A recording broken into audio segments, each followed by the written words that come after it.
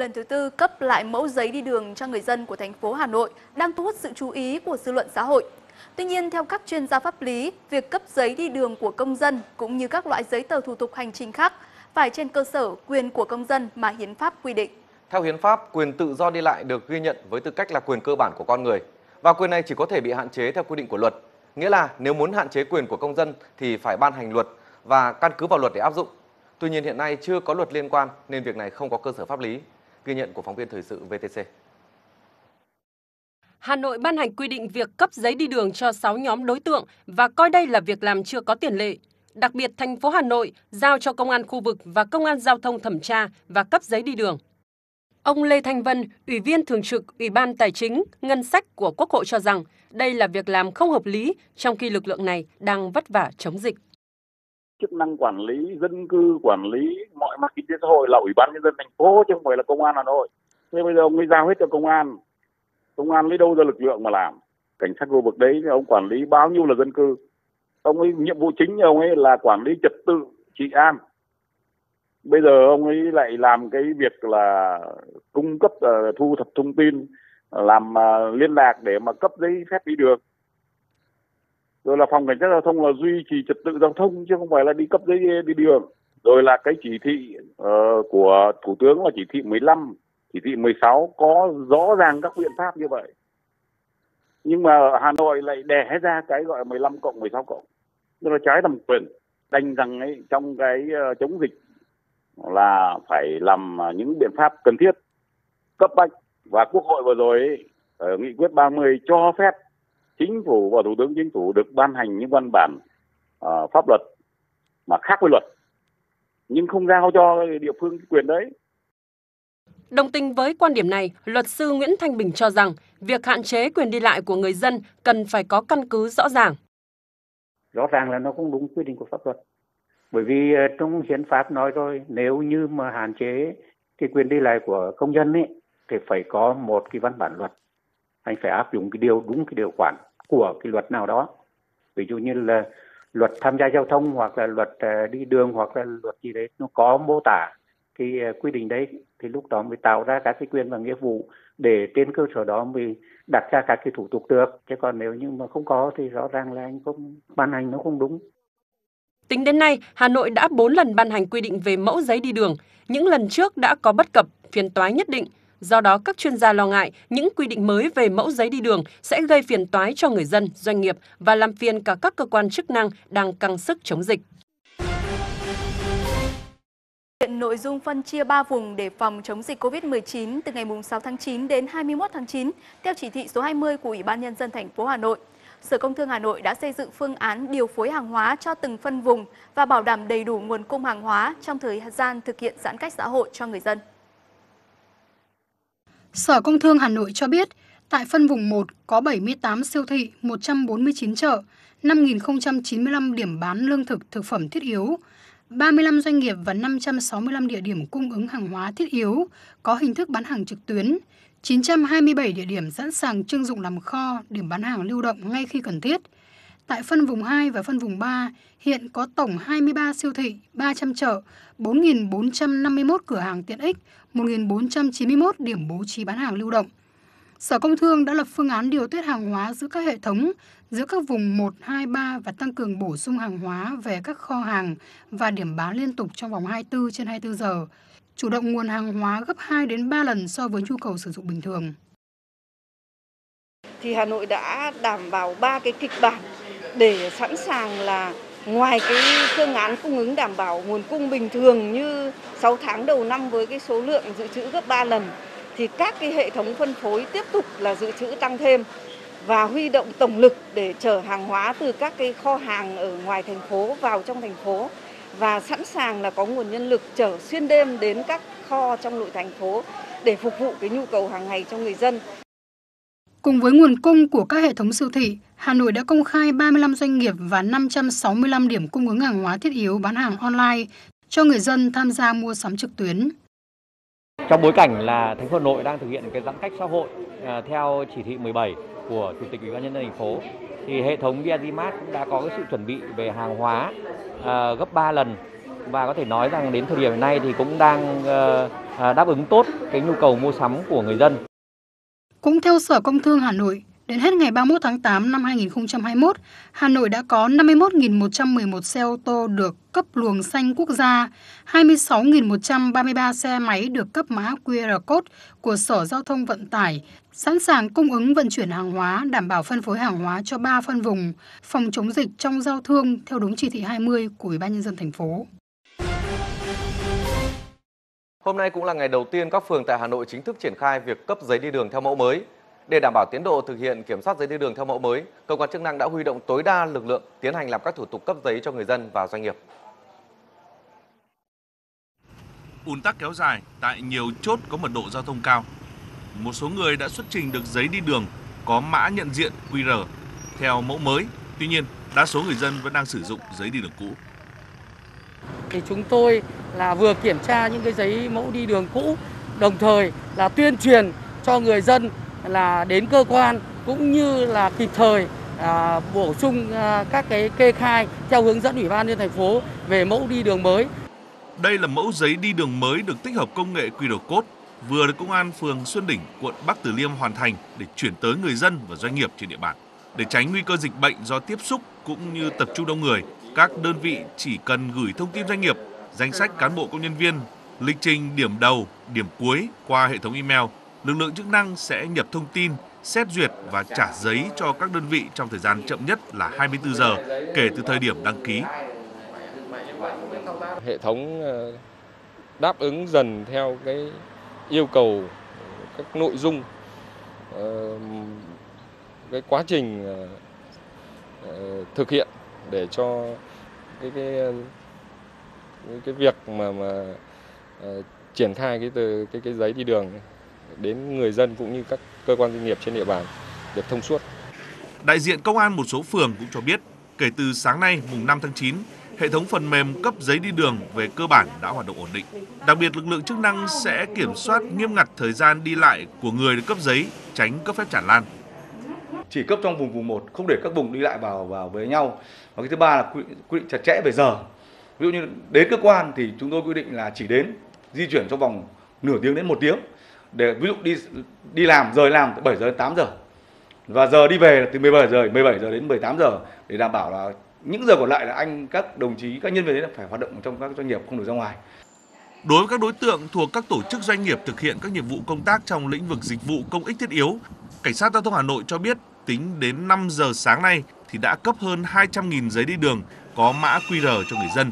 Hiện các đơn vị huy động tối đa lực lượng trực 24 trên 24 để đảm bảo người dân sớm có giấy đi đường theo mẫu mới khi thành phố chính thức áp dụng việc kiểm soát, xử phạt sau ngày 7 tháng 9. Vào cuối giờ chiều hôm nay, cuộc họp báo của Ban chỉ đạo phòng chống dịch COVID-19 thành phố Hồ Chí Minh đã diễn ra. Phóng viên Ngọc Uyên thông tin chi tiết từ hiện trường. Ngày 20 tháng 8, như thường lệ, chiều nay, Ban chỉ đạo phòng chống dịch COVID-19 thành phố Hồ Chí Minh Ờ, có cuộc ờ, họp với ờ, các cơ quan truyền thống để trao đổi về thông tin tình hình dịch bệnh trên địa bàn thành phố. Thành phố Hồ Chí Minh đã trải qua 15 ngày thực hiện giãn cách nghiêm ngặt. Chính vì vậy, có rất nhiều vấn đề được các cơ quan báo chí quan tâm và muốn đặt câu hỏi với các cơ quan ban ngành cũng như ban chỉ đạo phòng chống dịch của thành phố. À, tuy nhiên cùng thời điểm này, ban thường vụ thành ủy thành phố Hồ Chí Minh đã có cuộc họp. Chính vì vậy, những cái thông tin mang tính tổng quát cũng như những cái kế hoạch định hướng trong thời gian tới của thành phố Hồ Chí Minh đã được chủ tọa của cuộc họp chiều hôm nay à, xin phép các phóng viên thì sẽ thông báo đến các phóng viên à, sau khi ban thường vụ thành ủy sẽ có cuộc họp kết thúc à, liên quan về những cái nội dung mà các báo chí mong muốn được biết lúc 20 giờ tối cùng ngày thì tại à, Trung tâm báo chí Thành phố Hồ Chí Minh, Chủ tịch Ủy ban nhân Thành phố Hồ Chí Minh Phan Văn Mãi sẽ có cuộc nói chuyện trên cái chương trình à, dân hỏi thành phố trả lời.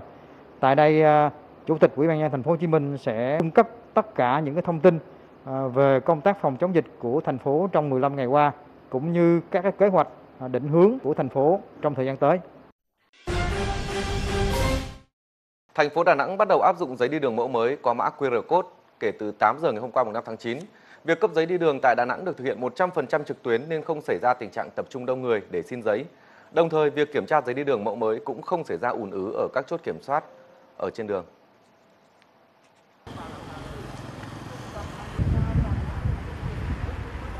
Thành phố Đà Nẵng đã cấp được hơn 90.000 giấy đi đường như thế này cho người dân. Và tấm giấy đi đường này thì có rất nhiều điều đặc biệt. Đặc biệt không chỉ trên tấm giấy có đầy đủ tên tuổi, địa chỉ và lộ trình di chuyển của mỗi người mà nó còn có một mã QR code. Với mã QR code này thì việc kiểm soát người dân không chỉ thuận lợi khi mà chính quyền nắm được các thông tin cụ thể mà tại các chốt kiểm soát công tác giám sát, kiểm tra, đối chiếu cũng như là thực hiện của người dân thông qua các chốt sẽ nhanh hơn. Theo thống kê mới nhất thì có những thời điểm một người dân qua chốt tại thành phố Đà Nẵng chỉ mất từ 5 đến 10 giây. Tại các chốt kiểm soát, lực lượng chức năng linh hoạt nhiều hình thức kiểm tra. Đối với người dân sử dụng giấy đi đường in ra, lực lượng sẽ kiểm soát trực quan. Một số đã cập nhật đầy đủ giấy tờ trên app giấy đi đường Đà Nẵng sẽ được quét mã bằng điện thoại. Ngoài ra, những trường hợp nghi vấn, lực lượng sẽ kết hợp thêm các biện pháp đối chiếu hậu kiểm khác. Trong hai ngày qua, không có bất kỳ ùn ứ nào xảy ra ở các chốt kiểm soát trên toàn địa bàn Đà Nẵng. Em đi thì thấy là, là giao thông đó là thông chốt, không có ùn ứ và kiểm soát rất là chặt chẽ. À, đi rất là thoải mái. Nói chung là tới là làm việc rất là là là đàng hoàng. Nói chung là à, tới nơi thì họ kiểm tra đàng hoàng đâu ra đấy rồi mình mới đi và không bao giờ xảy ra hiện tượng ờ, tình trạng mà ùn tắc hết trơn. Không chỉ hiệu quả trong việc kiểm soát và đảm bảo công tác phòng dịch, giấy đi đường có mã QR code của Đà Nẵng còn có khả năng tự cập nhật điều chỉnh các vùng xanh, đỏ, vàng của người được cập nhật hàng ngày. Đây là yếu tố quan trọng để không phải cấp giấy đi đường điều chỉnh nhiều lần. Đà Nẵng dự kiến sẽ nới lỏng một số hoạt động sau khi kết thúc 20 ngày thực hiện, ai ở đâu ở yên đó. Việc nới lỏng này sẽ thực hiện theo tinh thần sống chung với dịch. Qua triển khai thí điểm cho phép 25 dự án trọng điểm vẫn thi công trong thời gian qua cho thấy, một số hoạt động được tổ chức bài bản thì vẫn có thể hoạt động an toàn trong bối cảnh dịch bệnh vẫn diễn ra. Đây là dự án chống sạt lở khẩn cấp kè sông Yên, huyện Hòa Vang, thành phố Đà Nẵng. Vị trí dự án nằm trong vùng xanh của Đà Nẵng, thế nên khi đáp ứng đầy đủ các điều kiện về phòng chống dịch, công trình được thi công trở lại trong cả thời điểm Đà Nẵng thực hiện ai ở đâu ở yên đó. Hiện trạng của bờ sông này nó sạt lở rất nhiều. Bởi vậy là công ty trong thời gian này cũng đang đẩy nhanh tiến độ để thực hiện xuyên qua qua trong giai đoạn mùa dịch này để đảm bảo được tiến độ Ngày 25 tháng 8 vừa qua, Đà Nẵng kéo dài thời gian thực hiện, ai ở đâu ở yên đó thêm 10 ngày, cũng là khi Đà Nẵng thí điểm cho phép 25 dự án trọng điểm trên địa bàn được thi công trở lại. Điều kiện là các công trình phải tuân thủ nghiêm các quy định về phòng chống dịch, toàn bộ công nhân phải xét nghiệm COVID-19, các nhà thầu phải thực hiện việc quản lý công nhân, người lao động theo phương án ba tại chỗ. Các đơn vị thi công ở đấy, ấy, cả liên danh ấy, thì đều là tuân thủ cái quy tắc ba tại chỗ. Để đảm bảo tiến độ ấy, của dự án ấy, thì trong mùa dịch ấy, thì là các đơn vị là vẫn bố trí người để làm. Đấy, tuân thủ theo quy định thành phố là cắt giảm số lượng người cũng như tuân thủ theo các cái, cái quy định của an toàn của của thành phố. À, hiện nay cái khó khăn lớn nhất của công trình này là chúng tôi phải tổ chức thi công là à, kịp thời để trước mùa mưa không bị ảnh hưởng bởi cái tiến độ thi công. Do đó thì hiện nay ban quản lý yêu cầu nhà thầu à, phải tăng ca làm 3 ca hàng ngày để đảm bảo tăng cái khối lượng thi công hàng, hàng ngày trong cái giai đoạn mà trước mùa mưa đến cũng như song song với đó thì tăng cường các biện pháp phòng chống dịch À, và vừa rồi thì à, chủ đầu tư cùng các nhà thầu cũng đã kiến nghị lãnh đạo thành phố cho tiến hành à, tiêm vaccine mũi 1 đối với toàn thể cán bộ công nhân đang thi công tại công trình này. Trong thời gian thực hiện ai ở đâu ở yên đó vừa qua, việc duy trì sản xuất trong dịch được Đà Nẵng thực hiện rất hiệu quả. Các doanh nghiệp thực hiện ba tại chỗ đều tại các khu công nghiệp trên địa bàn đều duy trì được sản xuất và an toàn. Với kết quả thực hiện này, Dự kiến sau ngày 5 tháng 9 tới đây, thành phố Đà Nẵng sẽ tiếp tục nới lỏng một số hoạt động sản xuất ở các vùng an toàn. Song song với đó là phân khu cụ thể các vùng đỏ, vùng vàng để vừa kiểm soát dịch bệnh, vừa thực hiện trạng thái mới theo đúng phương châm sống chung với dịch. Vào cuối giờ chiều hôm nay, cuộc họp báo của Ban chỉ đạo phòng chống dịch COVID-19 thành phố Hồ Chí Minh đã diễn ra. Phóng viên Ngọc Uyên thông tin chi tiết từ hiện trường. Ngày 20 tháng 8, như thường lệ, chiều nay, Ban chỉ đạo phòng chống dịch COVID-19 thành phố Hồ Chí Minh à, có cuộc à, họp với à, các cơ quan truyền thông để trao đổi về thông tin tình hình dịch bệnh trên địa bàn thành phố. Thành phố Hồ Chí Minh đã trải qua 15 ngày thực hiện giãn cách nghiêm ngặt. Chính vì vậy, có rất nhiều vấn đề được các cơ quan báo chí quan tâm và muốn đặt câu hỏi với các cơ quan ban ngành cũng như ban chỉ đạo phòng chống dịch của thành phố. À, tuy nhiên cùng thời điểm này ban thường vụ thành ủy thành phố Hồ Chí Minh đã có cuộc họp. Chính vì vậy những cái thông tin mang tính tổng quát cũng như những cái kế hoạch À, định hướng à, trong thời gian tới của thành phố Hồ Chí Minh đã được chủ tọa của cuộc họp chiều hôm nay à, xin phép các phóng viên thì sẽ thông báo đến các phóng viên sau khi ban thường vụ thành ủy sẽ có cuộc họp kết thúc liên quan về những cái nội dung mà các báo chí mong muốn được biết lúc 20 giờ tối cùng ngày thì tại Trung tâm báo chí thành phố Hồ Chí Minh, Chủ tịch Ủy ban nhân thành phố Hồ Chí Minh Phan Văn Mãi sẽ có cuộc nói chuyện trên cái chương trình dân hỏi thành phố trả lời. Tại đây Chủ tịch Ủy ban nhân thành phố Hồ Chí Minh sẽ cung cấp tất cả những cái thông tin à, về công tác phòng chống dịch của thành phố trong 15 ngày qua cũng như các cái kế hoạch à, định hướng của thành phố trong thời gian tới. Từ hôm nay mùng 6 tháng 9, hơn 2,1 triệu học sinh Hà Nội chính thức bước vào chương trình học tập học kỳ 1 năm học 2021-2022 bằng hình thức trực tuyến. Mặc dù học online không còn quá xa lạ với học sinh trong 2 năm qua kể từ khi xuất hiện đại dịch Covid-19, thế nhưng ngay trong ngày đầu tiên của năm học mới, đường truyền internet không ổn định và phần mềm học trực tuyến chưa đáp ứng yêu cầu vẫn là vấn đề đau đầu đối với nhiều học sinh và phụ huynh hiện nay. Sau buổi học đầu tiên của năm học mới 2021-2022, Đúng là phát biểu cũng không nghe thấy mà rõ ràng là các bạn khác vẫn nghe thấy. Và có những có lúc mà con cũng bị tắt màn hình mà con không con không ấn tắt màn hình. Trong quá trình học thì con ngồi lâu quá thì đau mắt hoặc đau mắt nhiều nhà trường cho biết ngay trong buổi sáng học trực tuyến đầu tiên của năm học mới, sĩ số các lớp đều đạt 100%. Chỉ tiếc là sự hứng khởi của thầy trò đã không trọn vẹn khi đường truyền Internet thường xuyên bị quá tải, khiến cả giáo viên và học sinh liên tục bị ao ra khỏi lớp học. ao ra liên tục không phải mỗi mình con mà tất cả các bạn của con ở trong lớp cũng như vậy Đấy, không biết là tôi đang không hiểu là do đường truyền hay là do như thế nào không biết là có phải do đường mạng của nhà tôi hay không đấy thì vấn đề này tôi phải xem xét lại và cũng phải là hỏi ý kiến của giáo viên xem là nó như thế nào tại vì là thực ra học như này là là là con không không không tiếp thu được nhiều mà cái đường truyền nó lại còn thiếu ổn định như thế này thì các con nghe có thể là chữ được chữ không sinh ra cái tâm lý à, không thể tập trung học vào được nên chất lượng thì chắc chắn là sẽ không được đảm bảo. Các nhà trường cho biết đã nắm được thông tin khi các giáo viên phản ánh và sẽ quan sát trong những ngày học trực tuyến tới để có hướng giải quyết thì chúng tôi cũng sẽ làm đề xuất với các cấp quản lý xin đề xuất giãn khung thời gian của các khối lớp thời gian học của các khối lớp để đảm bảo sản lượng truy cập cùng một lúc đảm bảo cho đường truyền mạng được tốt cũng như là chất lượng của các tiết học của các con được tốt hơn. Làm việc với bên ờ, viễn thông thì buổi chiều đã có những cái trả lời.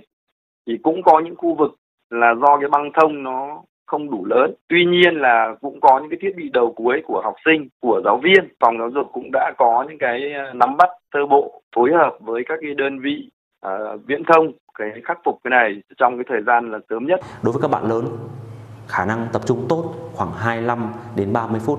Đối với những bạn nhỏ tiểu học chỉ khoảng 15 phút. Đối với những bạn mà năm nay mới vào lớp 1 thì còn thấp hơn nữa, gần như là phải có người kèm cặp.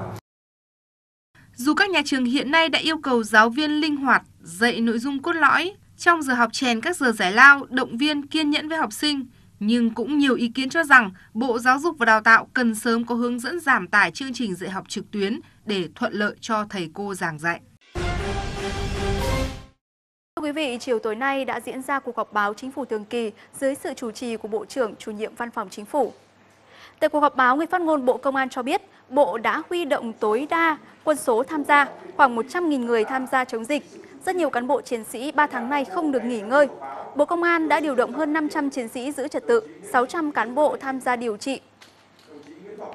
Sáng nay đã có hơn 900 cán bộ vào hỗ trợ ba tỉnh Bình Dương, Đồng Nai, Long An chống dịch. Sự hiện diện của công an trong đời sống xã hội hàng ngày, hiệu quả sẽ do nhân dân, cấp ủy chính quyền đánh giá. Lực lượng công an khẳng định sẽ nỗ lực hết sức và giữ an ninh trật tự an toàn cho xã hội. Việc điều lực lượng công an quân đội vào phía Nam là rất cần thiết. Lãnh Cục trưởng Cục Tuyên huấn Bộ Quốc phòng cho biết, Bộ đã điều động trên 120.000 cán bộ chiến sĩ dân quân tự vệ vào Nam với quyết tâm trách nhiệm cao nhất để chống dịch.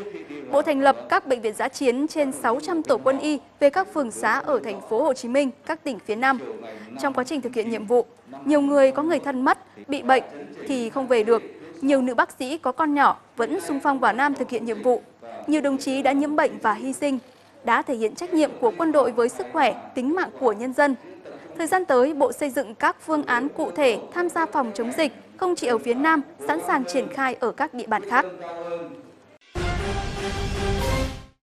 Vị đã đến lúc cần tiến tới việc chính quyền phải lo nguồn hàng và nhờ tiểu thương phân phối một cách an toàn, bởi họ mới là những người chuyên nghiệp có khả năng đáp ứng được nhu cầu của người dân trong bối cảnh bình thường mới. Đó là chỉ đạo của Phó Thủ tướng Vũ Đức Đam trong chuyến kiểm tra thực tế một điểm phân phối hàng hóa tại thành phố Hồ Chí Minh ngày hôm nay. Trung tâm văn hóa quận 5 giờ đã trở thành một điểm phân phối hàng hóa. Rất nhanh, người phụ nữ này đang chốt rất nhiều đơn. Phường 8 14520 Mấy biết là hai trên lầu Bên phòng thu của động còn bây giờ là ngồi thành nhân viên tính tiền siêu thị đúng không? Dạ Làm tự tin không? Dạ, dạ tự tin ạ. Cũng uh, tại vì cái đơn hàng của mình là có mã số sẵn đó bác. Thì mình chỉ cần đánh lên máy rồi máy tính tiền ra đơn. Họ là những nhân viên văn hóa hay quận đoàn được điều động vào một trong nhiều tổ phân phối hàng hóa ở quận 5, nơi có khoảng 30.000 hộ cần đi chợ hộ. Trực tiếp kiểm tra, Phó Thủ tướng Vũ Đức Đam đánh giá cao những mô hình chợ giả chiến kiểu này, nhưng cần phải tiến thêm một bước nữa. Đó là sự hiển diện của những tiểu thương trong điều kiện an toàn. Cái mô hình này bây giờ là rất tốt thì em tiến thêm một bước nữa. Dạ, tức là bây giờ là chính quyền hỗ trợ cho tiểu thương. Dạ. Đến giờ phút này là chính quyền là tổ chức riêng. Dạ. Và tiểu thương thì đang thành hình. Dạ. Thì cái mô hình trong một cái thời gian tới là làm sao chính quyền hỗ trợ kết hợp và hỗ trợ với tiểu thương để mở kênh phân phối nó dạ. Nó thật sự an toàn. Dạ. Chắc chắn họ sẽ làm giỏi hơn mình. Tiểu thương chắc chắn phải làm tốt công việc phân phối hơn những lực lượng bất đắc dĩ. Vậy nên, ở những khu vực có đặc thù kinh doanh, dịch vụ như quận 5, thì địa phương này cũng đang siết chặt các biện pháp chống dịch để tạo điều kiện từng bước cho trạng thái bình thường mới. Quận cũng ờ, tăng cường thực hiện các những giải pháp để chuẩn bị cùng với ờ, tinh thần là kiểm soát dịch thì à, cùng với người dân ở trên địa bàn quận để bắt đầu các cái nhiệm vụ giải pháp trong cái điều kiện tình hình mới. Về cơ bản, khắp các quận huyện tại thành phố Hồ Chí Minh đều có tổ, kênh và chợ giả chiến phân phối hàng hóa như thế này, đáp ứng phần nào nhu cầu của người dân. Và với những điều kiện về nguồn hàng và chợ kiểu này do chính quyền tổ chức, nếu có tiểu thương tham gia thì chắc chắn nhu cầu của người dân được đảm bảo.